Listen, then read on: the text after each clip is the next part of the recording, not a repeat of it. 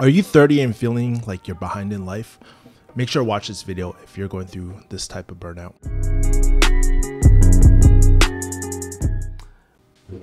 Let me adjust this a little bit. What's going on?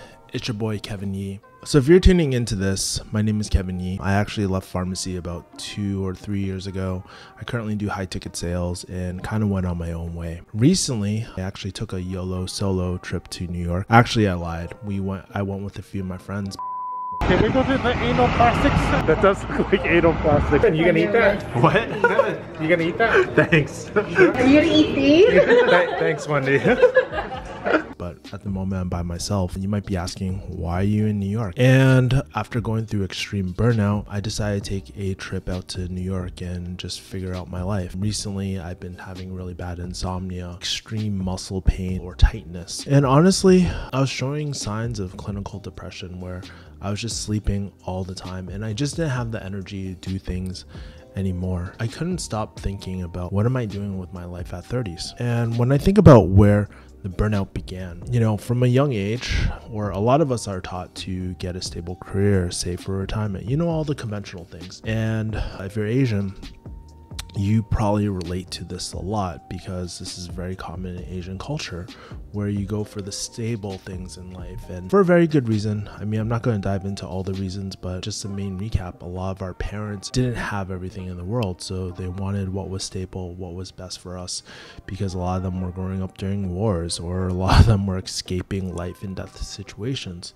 But being in America where it's a lot more different, right? For me, I decided to pursue a career in pharmacy. But what I quickly realized too, and maybe you guys can really relate to this, is that these were the things that people wanted for me, not the other way around, meaning I didn't want these things, right? Uh, and so I remember doing pharmacy, there were aspects I really loved. I loved helping people, science, interacting with people. But like any industry, once you dive into it, you see the real side behind it. There's a difference between the reality and expectations of what they show you in pharmacy school. I actually shot a video about why don't do pharmacy. So if you're considering something like pharmacy, you can watch it in one of the cards up here. Again, these were things that started tearing away at my soul. And I thought, I was like, man, why am I doing this? Why am I here? What is the purpose behind all this? Because because if it's to retire at 65 I'd rather just blow my brains out real talk you know? I that's when i started diving into digital marketing at the time right? Even though i kind of found my own way through high ticket sales and did the digital marketing space i haven't felt this loss in a really long time. Being in the hustle hustle hustle mode or the refugee hustle mode for such a long time now or for the last few years it hasn't been helping my mental health, right?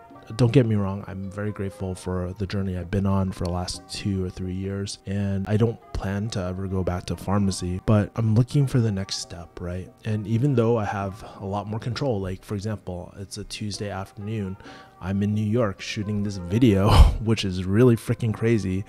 I had a crazy weekend with my friends just going out and just eating really nice food and just enjoying company, I started thinking a lot. One of the thoughts that hit me was like, man, these people I'm hanging out with in the next one or two years, they're gonna have families, their priorities gonna change. And so, what's next for my life? And I started asking myself, like, what am I trying to do? Why do I feel so I guess, uneasy or uncertain about my future. And the truth is, like I mentioned, for the last two weeks, I just really did not want to get out of bed. You know, I had a lot of major things happen in my life. Like I lost one of my major clients because their business pretty much went under. And I was I've also been seeing a therapist and stuff, and she was saying that I was showing uh, signs of uh, potential clinical depression. And I was like, you know, I was just starting to lose that edge and that lose not the motivation. I guess a little bit of the motivation, but I just didn't know why I really want to get out of bed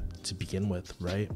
And so that's very unlike me. And so I knew I needed some sort of change. And that's why I came to New York. I needed to physically change, get myself away from everything because taking more time off wasn't helping. Prior to this, I was seeing an acupuncturist, I was seeing, seeing a therapist, massage therapist, meditating, but really nothing helped. And what I realized when I came to New York was something very interesting. And this is probably, if there's one snippet of this video, this is the one thing that you should take away is like what I realized on this trip was this is the quickest way to avoid burnout altogether, right? I've just been living. That's what I've been doing the last few days.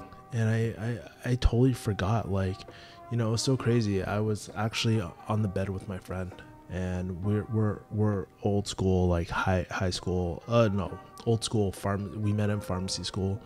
Uh she's one of my really closest friends. And uh we're just resting before we're gonna walk around the new york area.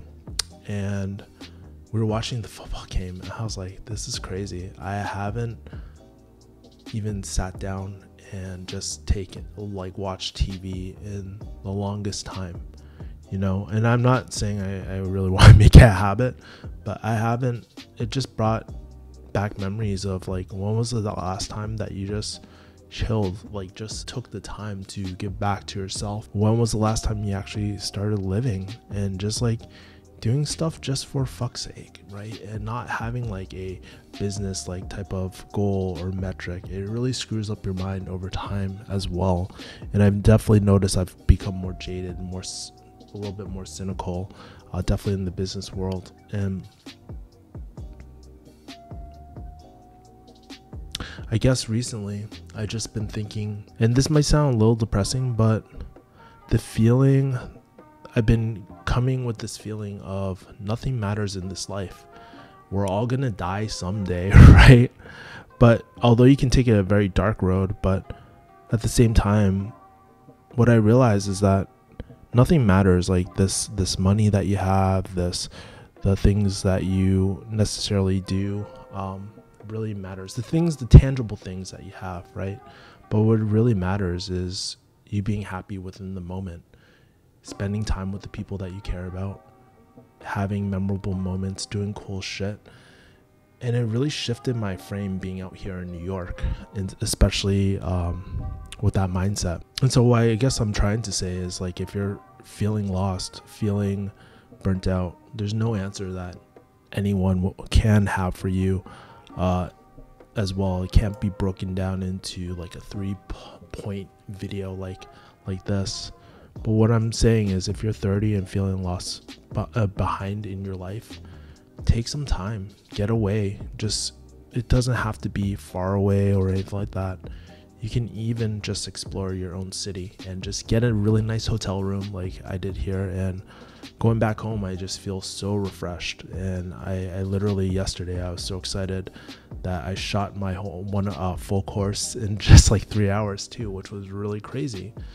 And that's a break that we all need. And I think there's a problem with something like hustle culture when we're running through the same routines over and over and over again and we never take the time to break it and just take a step back then that's when we go through we we start feeling behind and stuff. This trip was all inspired by i was like i'm thinking about going to new york. And my og friends from high school and college they're like hey we'll join you right?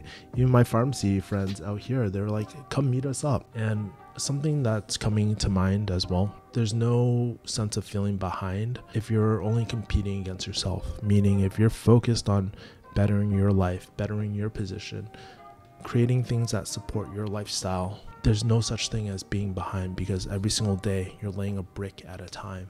And uh, sometimes it's just so easy to compare yourself to others. So when I look at my friends now, it's just like, you know, I just appreciate these times that I have with them because they're so precious. Everything is so limited in this world, right? Yeah, probably by next year they might have kids, which is totally cool. But life goes on as well, and one day I will I'll have my own kids too. Um, probably at 36, but you know who knows. These are just my thoughts. I love to kind of hear how you guys are feeling. If you guys are 30 and feeling this way, if you guys are 20 feeling this way, if you guys are 60 freaking years old, tell me if you guys feel this way as well. If you made it this far, uh, love for you to subscribe to this channel if you want more life topics like this. Uh, let me know, and I'll shoot some more.